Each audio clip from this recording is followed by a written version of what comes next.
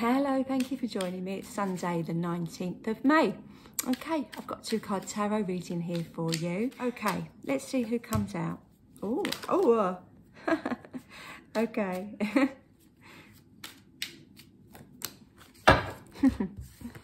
okay. Right, we've got the Queen of Cups and we've got the Two of Wands.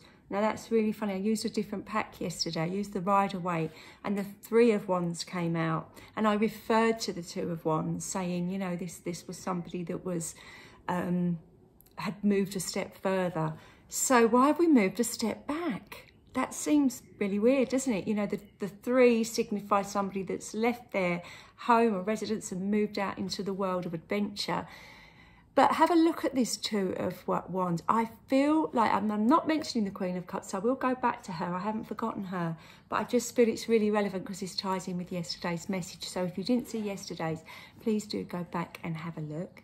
Um, I think what's interesting here is it's that reminder.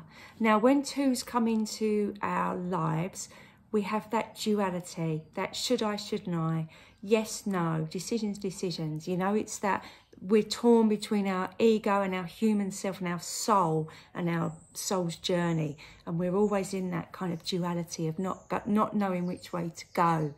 So I do feel like there's going to be an element here of needing to remind yourself how far you've come.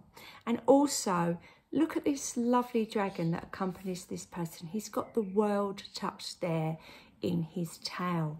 Okay, so presumably that is for this person that he's looking looking at and sort of saying, well, we ready? What, what we doing? Come on.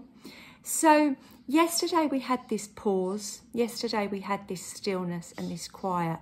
I kind of feel like this is tying into that message but with a very gentle reminder that at some stage we will actually have to start to do something, okay?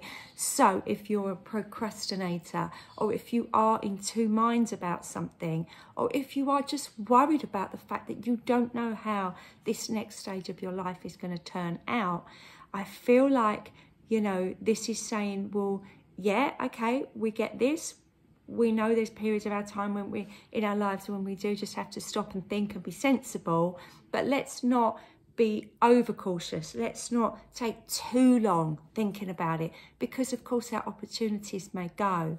You know i'm looking at this dragon looking up at this man waiting for the man to make the decision. And i'm hoping that the dragon doesn't just get fed up and go oh do you know what? I'm off and flies off and leaves that guy because then he'll be precariously balanced on that kind of ledge and have no way of moving over that river to the next place, which seems to be over here. So I feel like this is a, a message about seeing opportunities and not missing them, not letting things go by. If that is something you've done in the past that you've regretted, remember that feeling of regret and try and make sure that that doesn't happen again. Now, I mentioned feelings, feeling of regret, and that's moved me lovely, beautifully on. What a link to the Queen of Cups. If there's anybody that knows about feelings, it is the Queen of Cups. Now, she's got that full moon there in the sky. We are moving to a full moon period. So you know, you can start tapping into that energy. And I know some of you will feel overly emotional, get quite tearful or restless or can't sleep when there's a full moon. It does, into if we're really intuitive and in tune with the universe, this is a time when we do feel things very, very different, deeply. Okay, it's also a really great time to start letting go of things that no longer serve you. So, again, I feel like the Queen is coming in here with an element of maturity. We were talking about maturity yesterday. And I feel like this is a constant reminder not to go back to how we used to behave, how we used to be. Okay, so there's an element of your character that you've strived really hard over the last few years to, to get rid of. Maybe you have become less anxious, you've become more confident, maybe you've you know, done a, quite a lot of inner work and you're no longer sort of troubled by traumas that have set you back in the past, be that for your childhood or relationships. I feel like there's that element of, come on, we've got this. We know we've, we've conquered a lot of our emotions. We are in touch with our feelings. Don't let them overwhelm us because when we're overwhelmed with our feelings, we do stop our path and you know it really does feel like we're being guided towards something new here okay?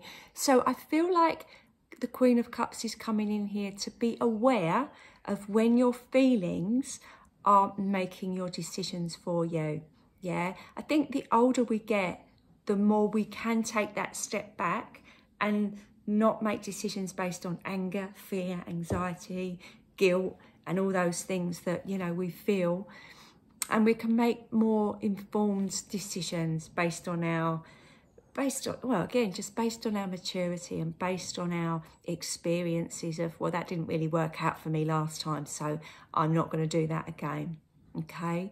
So yeah i like the fact the queen of cups is coming in here. She's reminding us that we all are completely entitled to feel but not to let it run away with us because we've got plans and things we want to do with our lives and we're not going to let our feelings and emotions hold us back anymore. Well, that seemed like a really exciting, interesting week. Um, I'm back again tomorrow. Obviously, I'm here every day with a reading for you. If you would like a personal reading, I do do those via Zoom. So no matter where you are in the world, I can um, I can meet up with you by Zoom and and give you a personal reading. So if you're interested in that, please go to my website, which is clairechilvers.com. There's a link in the description, and there's um, a section book a reading. You can go on there, and uh, it will tell you what to do. In the meantime, have a wonderful day and I'll be back again tomorrow. Bye for now.